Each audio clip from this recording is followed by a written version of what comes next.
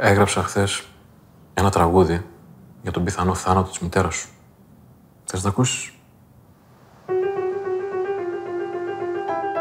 Η γυναίκα μου εδώ και αρκετό καιρό βρίσκεται σε κρίσιμη κατάσταση σε κόμμα. Και οι γιατροί δεν είναι ενθαρρυντικοί. Λυπάμαι πολύ. Δεν μπορώ να το πάρω απόφαση ότι μπορεί να με συνέλθει. Είναι αβάσταχτη η θλίψη.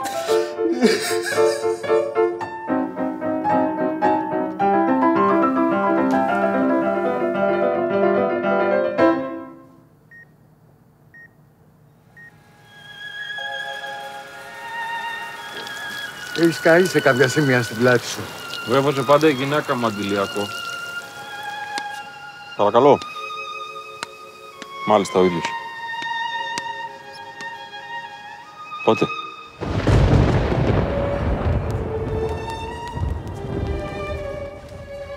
Αυτό που λένε ότι όταν πεθαίνεις βλέπεις ένα τούνελ και ένα φως στο βάθος, ξέρετε, ισχύει. Η γυναίκα σας τι κάνει; Δυστυχώς τα ίδια. Οι ελπίδες σου πάνε και λιγοστεύουνε. Μέσα σε απόγνωση. Δεν ξέρω τι να κάνω. Έχω αρχίσει και απελπίζω. Σου έφερα αυτό που μου ζήτησες.